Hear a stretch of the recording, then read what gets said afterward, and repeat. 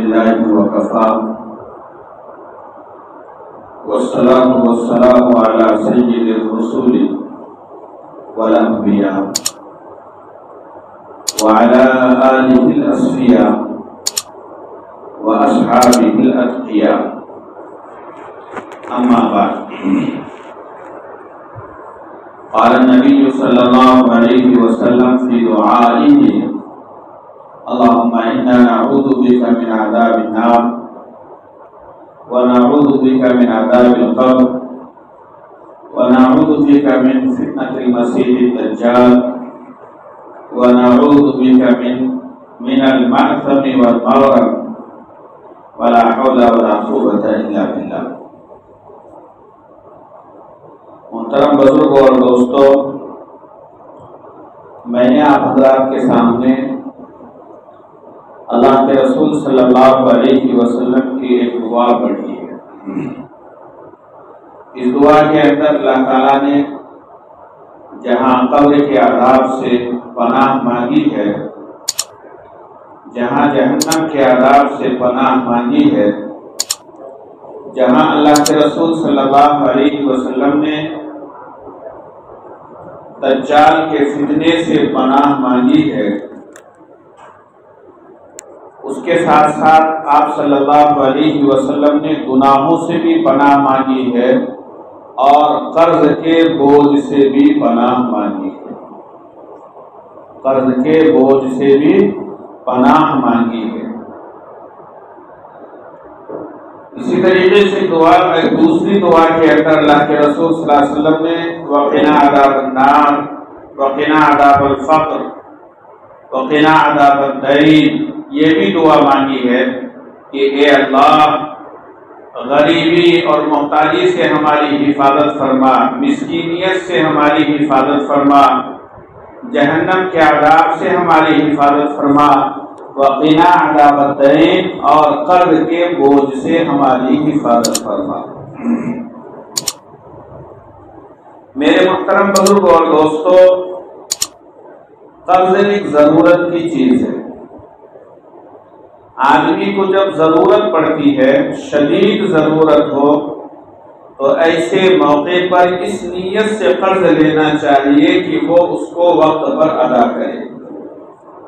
और अगर अदा करने की ताकत ना हो, या उसकी नीयत ना हो तो अल्लाह के रसूल सल्लल्लाहु अलैहि वसल्लम ने मना फरमाया कि ऐसे आदमी को चाहिए कि कर्ज के बोझ में दबने से परहेज करे। कर्ज लेने से एहतियात, कर्ज लेने से बचे।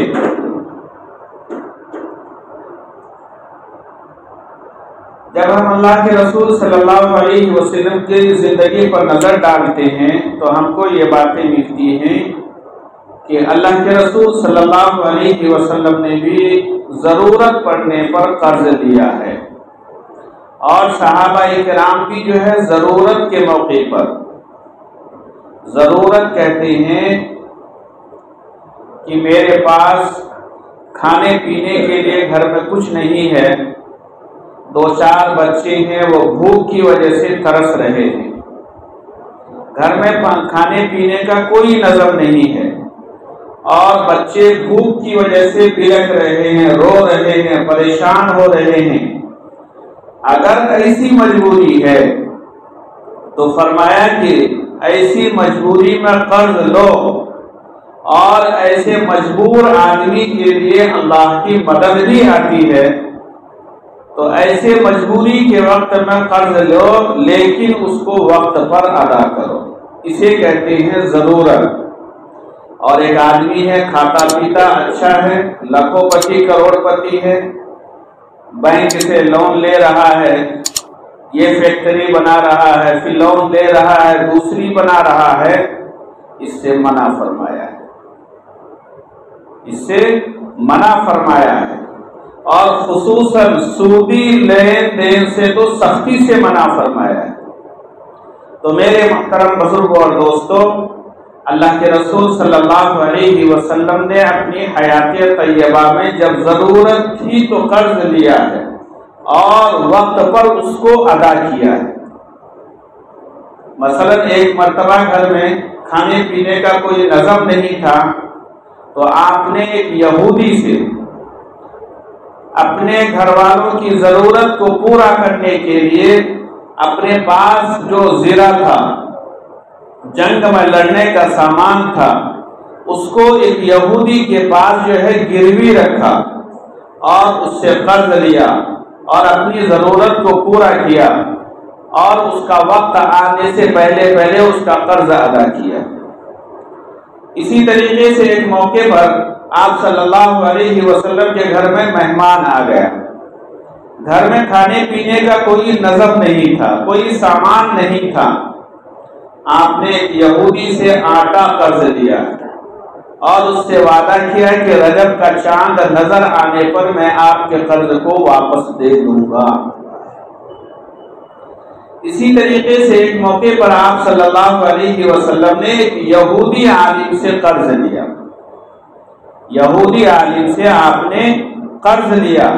कर्ज लेने के बाद जो है वक्त के पूरा होने से पहले वो यहूदी आलिम शायद आपको आजमाना चाहता था और आपके अखलाक और किरदार को देखना चाहता था तो उस यहूदी आलिम ने वक्त से पहले एक मरतबा आप रास्ते में जा रहे थे, उसने रास्ते में पकड़ लिया कि आपके ऊपर मेरा कर्जा है। जब तक आप कर्ज को अदा नहीं करेंगे, मैं आपको यहाँ से हटने नहीं दूँगा, जाने नहीं दूँगा और आपको पकड़ लिया। यहाँ तक कि आपने जोहर की नमाज़, असर की नमाज़, मगरिब की नमाज़ ईशा की नमाज़, फजर की नमाज़ भी आपने उसी जगह अदा किया। सहाबा इकराम ने इस मंजर को देखा तो सहाबा इकराम उस यहूदी आलिम पर गुस्सा होने लगे। और उसको डांटने लगे कि अगर तूने इसी तरीके से हमारे नबी को मजबूर किया अकरम सल्लल्लाहु अलैहि वसल्लम को मजबूर किया, तंग किया, परेशान किया तो हम तेरा कत्ल कर देंगे तो उसको मार डालेंगे। लेकिन जब अल्लाह के रसूल सल्लल्लाहु अलैहि वसल्लम ने सहाबा इकराम के गुस्से को देखा तो सहाबा इकराम से फरमाया, गुस्सा होने की ज़रूरत नहीं है। इसका मेरे साथ एक मुआहिदा हुआ है, मामला हुआ है, उसका मेरे ऊपर हक है, उसको भी इख्तियार है, आप खामोश रहो।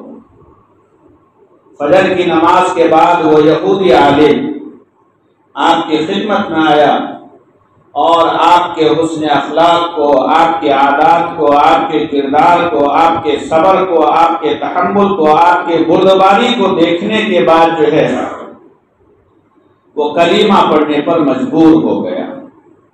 उसने अल्लाह के रसूल सल्लल्लाहु अलैहि वसल्लम से माफ़ी मांगी और कलीमा पढ़कर मुशरफ पर इस्लाम हुआ, इस्लाम के अंदर दाखिल हुआ और अपना पूरा कर्जा भी माफ़ किया और अपनी पूरी, पूरा माल और अपनी जायदाद और अपना जान माल सब अल्लाह के रसूल वसल्लम के लिए जो है उसने कुर्बान कर दिया।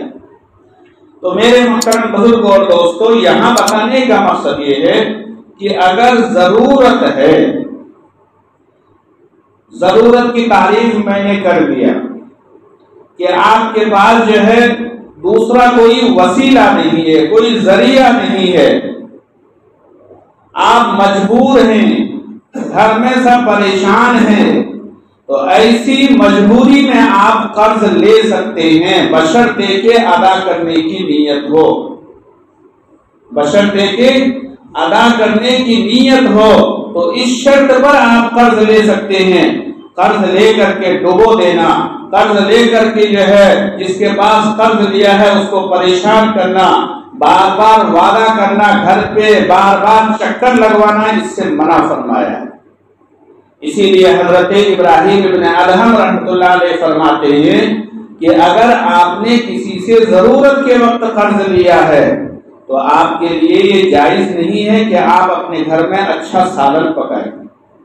उन्होंने जैतून का इस्तेमाल किया है कि आपके लिए ये ज़रूरी नहीं है कि आप जैतून का सालन इस्तेमाल करें। बल्कि बिल्कुल सादा मोदा, जब तक तुम्हारा कर्ज अदा ना हो जाए, उस वक्त तक सादगी को इख्तियार करो और कर्ज अदा होने के बाद फिर अपना मामूल के मुताबिक अपना खर्च करो। इसी तरीके से हज़रत अब्दुल्ला इब्न मुबारक रहमतुल्लाह कहते हैं। ये हज़रत अब्दुल्ला इब्न मुबारक बहुत बड़े बुज़ुर्ग गुजरे हैं और बुज़ुर्ग के साथ साथ बहुत बड़े मालदार भी गुजरे हैं। बहुत बड़े मालदार थे।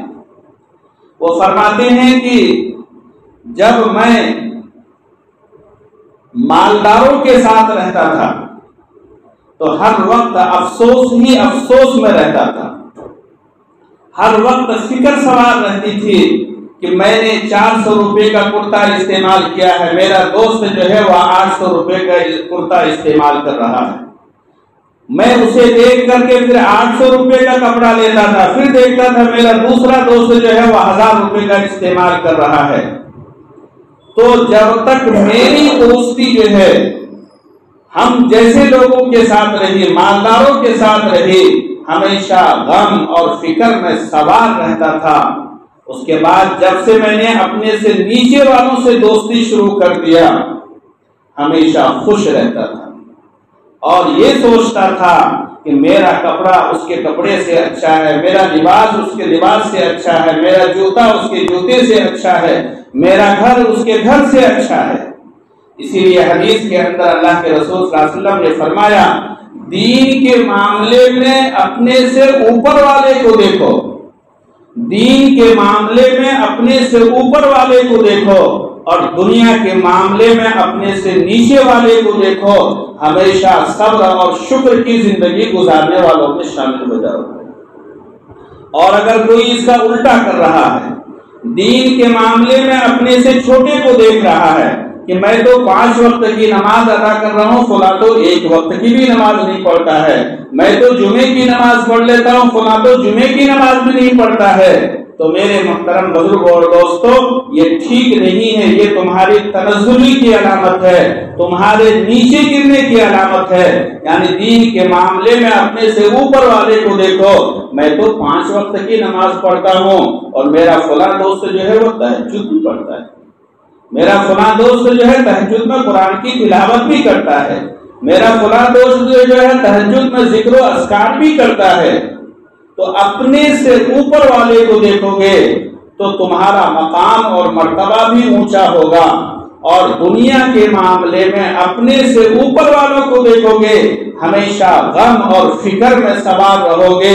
ये हर वक्त फ़िक्र रहेगी कि मेरा घर छोटा है, उसका घर बड़ा है। मेरा घर जो है मामूली है और सामने वाले का जो है घर जो है वो आलिशान महल है तो हमेशा फ़िक्र सवार रहेगी।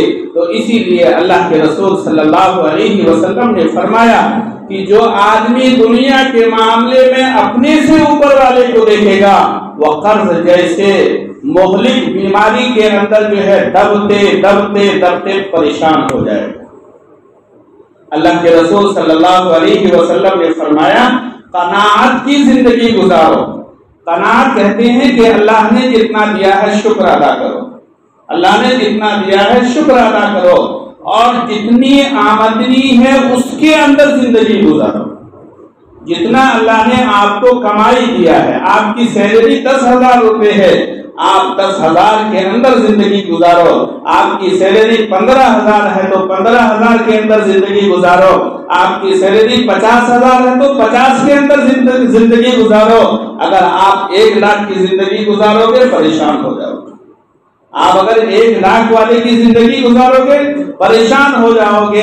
आज यही चीज़ हो रहा है कि हमारा मुस्लिम कौम जो है, कर्ज के बोझ के अंदर डूबते डूबते डूबते नदी के बिल्कुल नीचे सतह में पहुँच गया है। और अपनी मेहनत की गाड़ी कमाई जो है, कर्ज खा को देता जा रहा है और कर्ज देते देते वो इस दुनिया से चला जाता है, उसका कर्ज जैसा था, वैसा ही बाकी मेरे मोहतरम बुज़ुर्ग और दोस्तों, मुसलमानों का मुसबत जो है, गरीबी तबका जो है, इस बला के अंदर जो है, इस मुसीबत के अंदर जो है, बिल्कुल जो है डूबा हुआ है। आप सर्वे करके देखिए। मेरे पास तो बहुत सारे वाकयात हैं, इसलिए मैं आपके सामने बोल रहा हूँ कि आदमी मंगनी के लिए,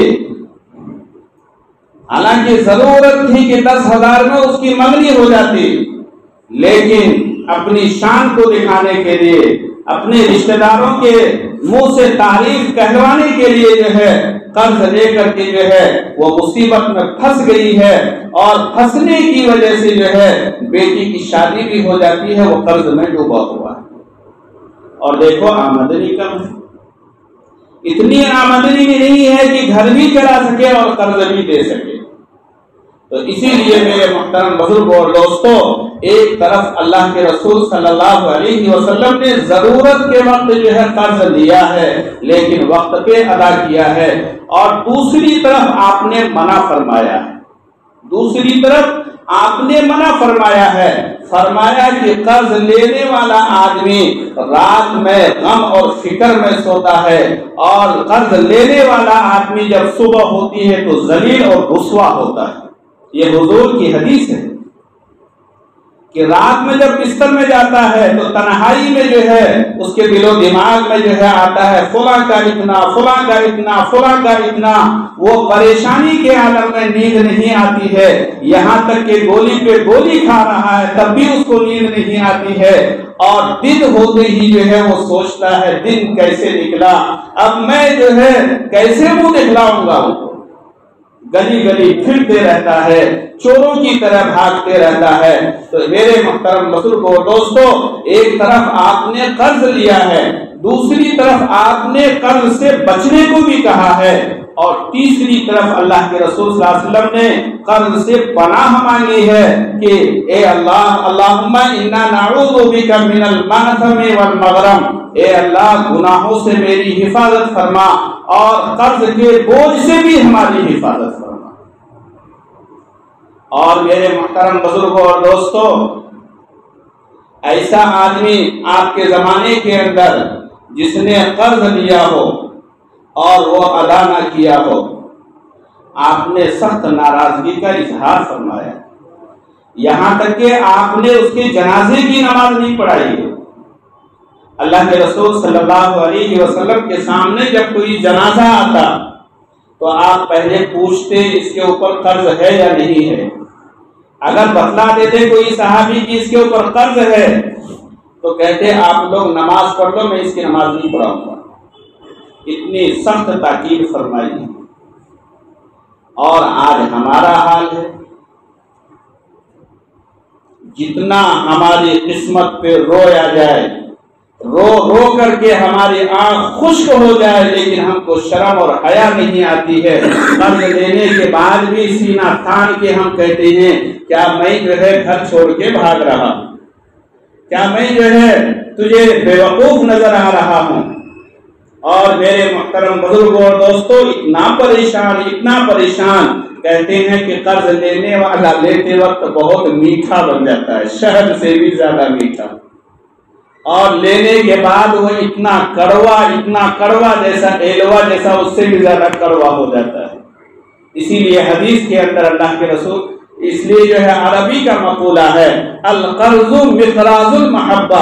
कर्ज जो है ये मोहब्बत की कैची है। दो आदमी दोस्त है, चड्डी यार है, पूरी ज़िंदगी दोस्ती में गुजरी है, लेकिन आपस में लेन देन का मामला हुआ, दुश्मनी शुरू हो जाता है।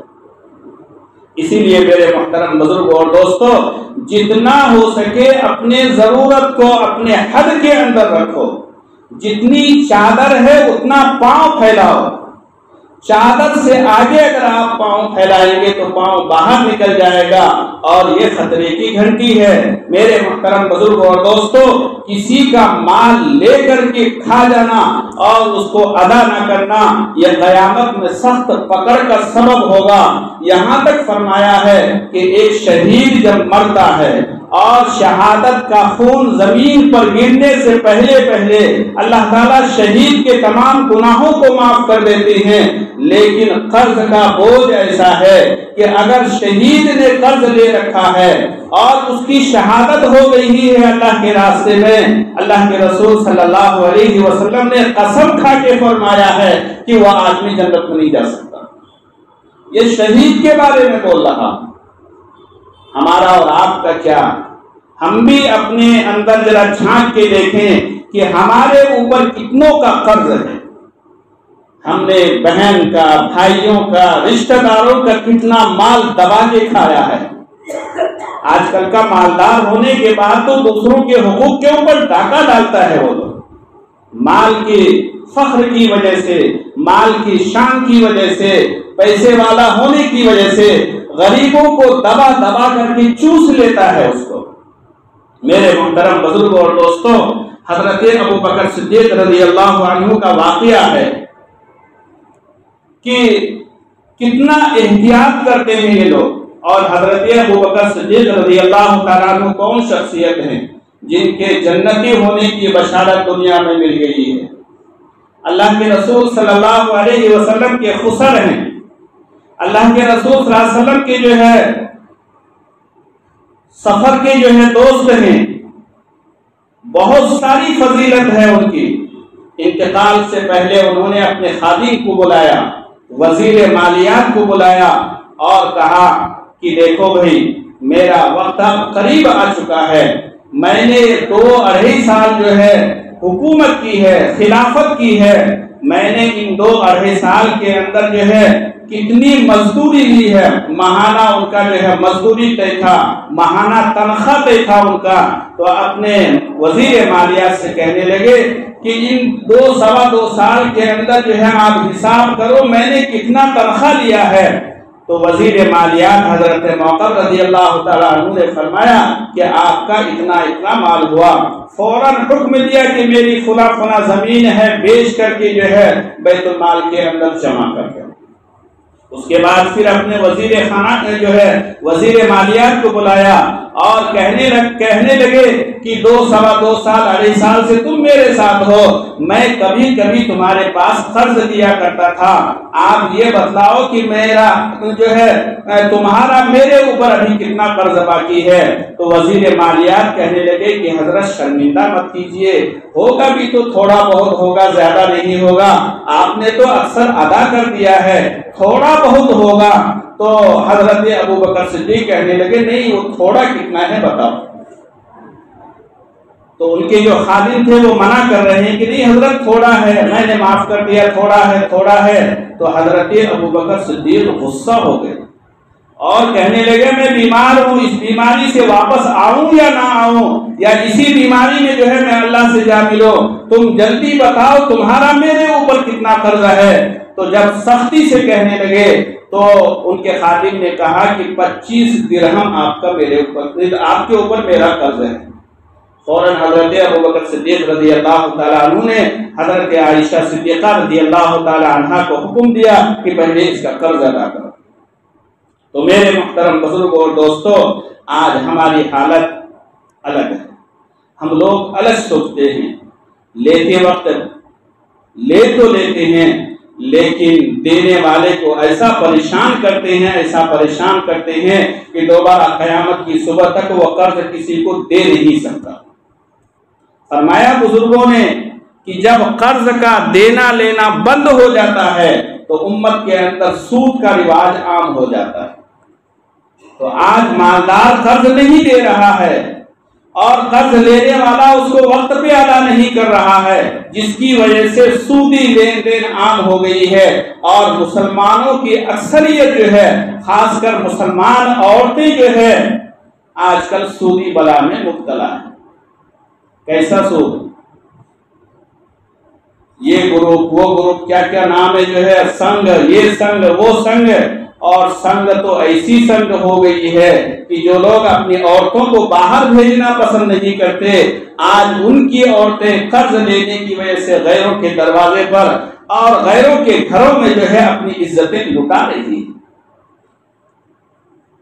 तो मेरे मुहतरम बुज़ुर्ग और दोस्तों, ये जो है कर्ज, हालाँकि कर्ज देना ये बहुत बड़ा सवाल है।